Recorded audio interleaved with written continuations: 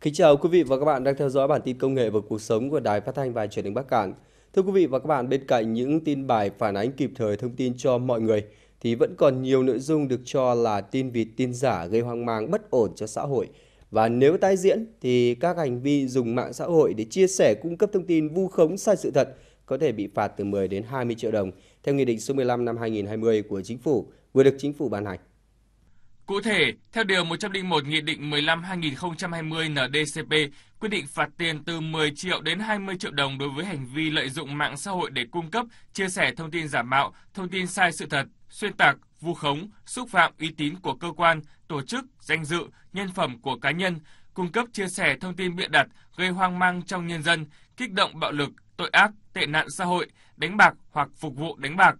các hành vi lợi dụng mạng xã hội để cung cấp, chia sẻ thông tin cổ suý các hủ tục, mê tín dị đoan, dâm ô đồi trụy không phù hợp với thuần phong mỹ tục của dân tộc, cung cấp chia sẻ thông tin miêu tả tỉ mỉ hành động chém, giết, tai nạn, kinh dị, dùng giận cũng bị phạt tiền từ 10 đến 20 triệu đồng. Mức phạt này cũng áp dụng đối với hành vi lợi dụng mạng xã hội để cung cấp, chia sẻ hình ảnh bản đồ Việt Nam nhưng không thể hiện hoặc thể hiện không đúng chủ quyền quốc gia, quảng cáo, tuyên truyền, chia sẻ thông tin về văn hóa, dịch vụ bị cấm, cung cấp, chia sẻ đường dẫn đến thông tin trên mạng có nội dung bị cấm, cung cấp, chia sẻ các tác phẩm báo chí, văn học nghệ thuật, xuất bản phẩm mà không được quyền đồng ý của chủ thể quyền sở hữu trí tuệ hoặc chưa được phép lưu hành hoặc đã có quyết định cấm lưu hành hoặc tịch thu. Ngoài phạt tiền, Nghị định cũng quy định biện pháp khắc phục hậu quả là buộc gỡ bỏ thông tin sai sự thật hoặc gây nhầm lẫn hoặc thông tin vi phạm pháp luật do thực hiện hành vi vi phạm nêu trên.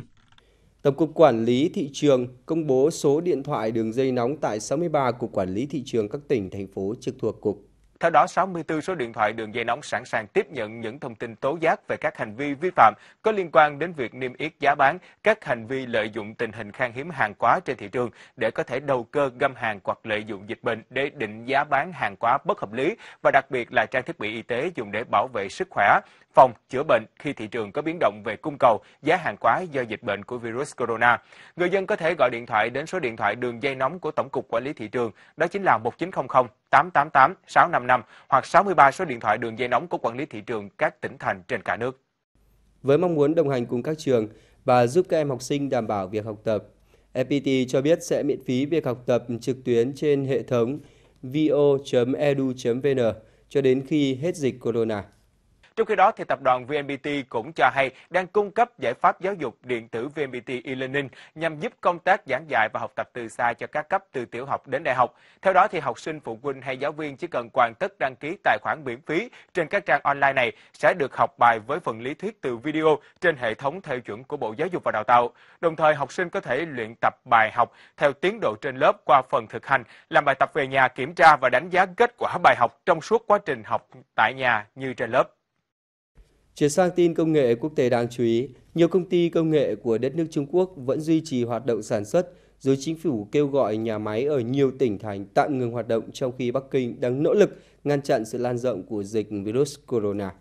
Gác khổng lồ viễn thông Huawei của Trung Quốc cho biết đã nối lại hoạt động sản xuất theo quyền miễn trừ đặc biệt cho phép một số ngành công nghiệp quan trọng nhất định được duy trì hoạt động bất chấp lời kêu gọi ngừng tất cả hoạt động ở nhiều tỉnh thành của chính phủ.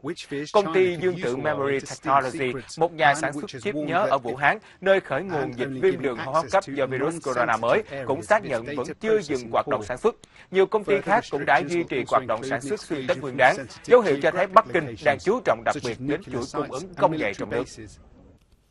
Microsoft vừa tuyên bố Windows 10 đã vượt quá 1 tỷ lượt cài đặt dù có chút chậm trễ hơn dự đoán, nhưng đây vẫn là hệ điều hành được sử dụng nhiều nhất trên thế giới, vượt xa SOS vào tháng 9 năm ngoái, thì Microsoft tuyên bố Windows 10 đã đạt được 900 triệu người dùng trên toàn thế giới. Nó chỉ mất có 5 tháng để đạt được cột mốc hiện tại, và đây là thông báo chính thức vì nó đến từ website của Microsoft ở Italia. Thông qua trang web tiếng Italia của mình, Microsoft đã gửi lời cảm ơn đến một tỷ người dùng. Khi mà Windows 10 được phát hành vào năm 2015, chúng ta vẫn còn nhớ hãng này dự kiến sẽ đạt được 1 tỷ lượt cài đặt trong khoảng 2 đến 3 năm. Tuy nhiên đến năm 2017, hệ điều hành này mới chỉ đạt 500 triệu người dùng và Microsoft đã phải gia hạn thêm thời gian để đạt được mục tiêu đề ra. Hàng loạt hình ảnh chi tiết của dòng smartphone thiết kế gập dọc Galaxy Z Flip của Samsung vừa được dò dỉ hình ảnh với các thông số kỹ thuật chi tiết. Như nhiều kỳ vọng trước đó, Samsung Galaxy Z Flip sẽ được trang bị màn hình 6,7 inch, tỷ lệ 22 chia 9 trong thiết kế màn hình gập công nghệ OLED. Màn hình này có độ phân giải Full HD+, khác với Galaxy Fold. Thông tin dò rỉ xác nhận Z Flip sẽ là màn hình Ultra Thin Glass, thay vì kiểu bảng nhựa dễ vỡ hơn từng tạo nên sự cố trên Fold. Ngoài ra, sản phẩm này sẽ có kiểu thiết kế đục lỗ cho camera selfie nằm bên trong màn hình. Màn hình phụ bên ngoài sản phẩm sau khi gặp lại có kích thước 1,06 inch, độ phân giải 300 x 116 pixel, cũng sử dụng tấm nền OLED giúp hiện giờ và các thông báo mới. Về cấu hình, Galaxy Z Flip sẽ được trang bị chip SoC Qualcomm Snapdragon 855 Plus, bộ nhớ RAM 8GB và 256GB bộ nhớ trong. Công nghệ 5G chưa được hỗ trợ mà cao nhất chỉ là mạng LTE.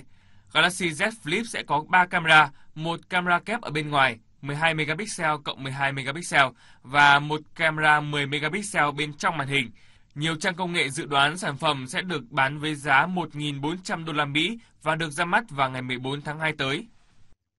Khác với thời gian trước, màn hình cong không còn là sự ưu tiên của người dùng khi lựa chọn TV mà thay vào đó là sự lựa chọn màn hình phẳng, kích thước lớn và công nghệ cho phép TV ngày càng hiển thị tốt hơn và mỏng hơn.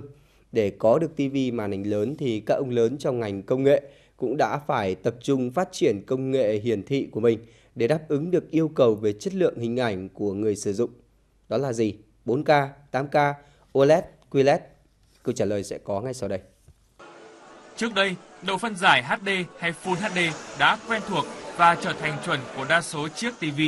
Song thị trường TV hiện nay lại cho thấy những chuẩn mực này thay đổi rất nhanh chóng và ngày càng được nâng cao.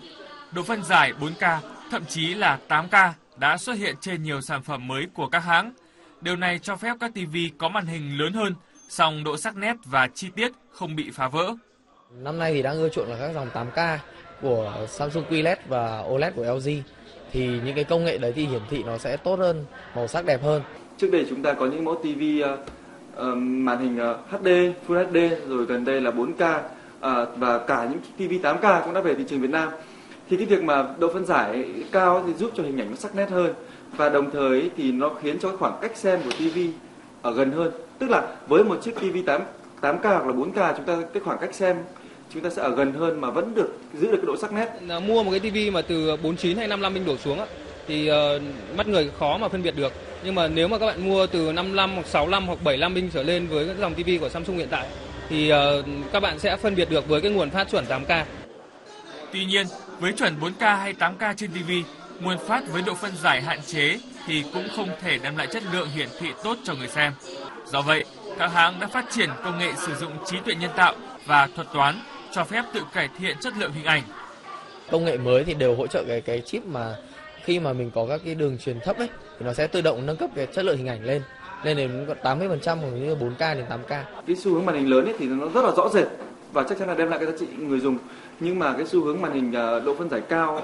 theo tôi nghĩ là có thể là dừng ở mức 4K hoặc là 8K trong thời gian tới bởi vì là hiện nay à, cùng với lại cái việc mà tăng độ phân giải màn hình trên TV thì còn một cái yếu tố rất là rất là quan trọng, đó là cái nguồn phát thì hiện nay nguồn phát 4K hạn chế và nguồn phát 8K thì hầu như là trên thị trường chưa có. Tuy nhiên thì à, nhìn ra xa hơn hoặc là nhìn ra quốc tế thì à, trong tương lai theo tôi biết là, là Nhật Bản có thể phát sóng truyền hình 4K và tiến tới là phát sóng cả truyền hình 8K nữa. Thì à, khi mà những cái nguồn phát này nó phổ biến ấy, thì à, có lẽ là cái, những cái mẫu TV độ phân giải siêu cao sẽ được à, dần dần sẽ được đón nhận.